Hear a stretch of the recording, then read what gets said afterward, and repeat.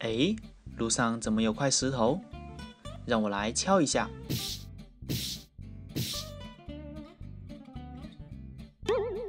我不是石头，我是皮古蒙怪兽。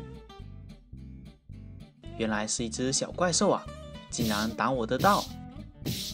不要打我，不要打我！哦，这是谁？天哪，是赛罗奥特曼！可恶的雷德王，你又在欺负弱小了！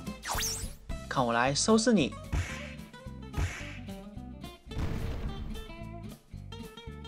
看你以后还敢不敢欺负弱小！这个奥特曼太强大了，打不过还是跑吧！你没事吧，皮古蒙？我没事，谢谢你，赛罗奥特曼。我把这个蛋送给你吧。皮古蒙把一个变形蛋送给了赛罗奥特曼，这会是什么变形蛋呢？出现了一张脸，这原来是皮古蒙的变形蛋，看起来好萌啊！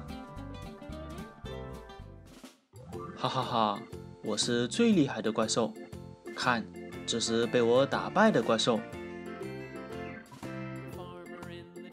它叫双尾，是超古代怪兽，被我打败了，哈哈哈！这时候，迪迦奥特曼出现了，可恶的怪兽，看我来收拾你！迪迦奥特曼一拳把出现的怪兽打败了，被打败的怪兽变成了一个蛋，这是什么变形蛋呢？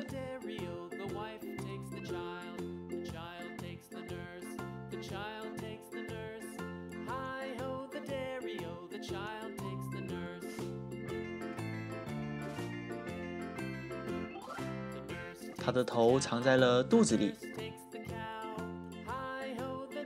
这只怪兽有两只尖尖的角，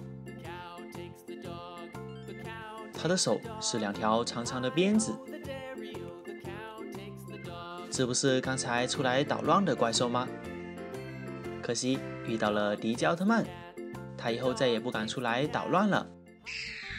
突然，从天空飞下来一只鸟形的怪兽。这时候，艾斯奥特曼飞了过来，他告诉怪兽：“快点离开这里。”怪兽好像不听话，还对奥特曼发起了进攻。艾斯奥特曼被打倒了。这时候，他穿上了帅气的披风，充满了力量。艾斯奥特曼发出了必杀光线。被打倒的怪兽也变成了一个变形蛋，这会是什么变形蛋呢？这个蛋可以从中间张开，张开之后出现了怪兽的肚子，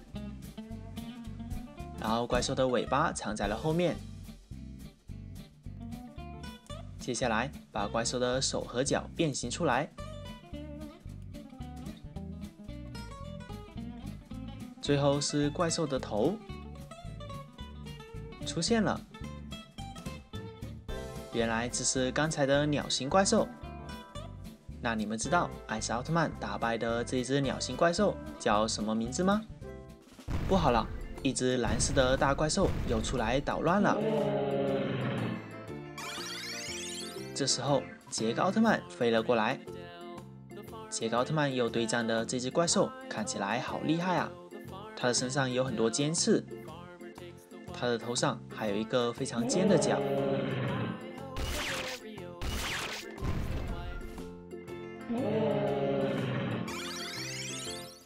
杰克奥特曼穿上帅气的披风，他要来发出他的必杀技。杰克奥特曼手里拿起了武器，对着怪兽发起了致命的一击。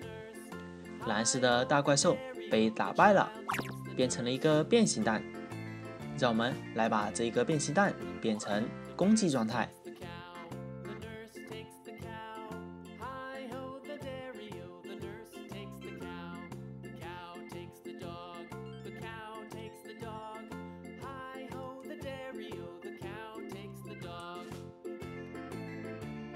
这是一只迷你的小怪兽，它的头上有尖尖的角。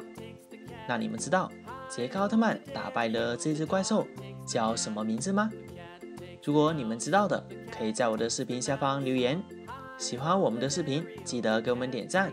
我们下期再见，拜拜。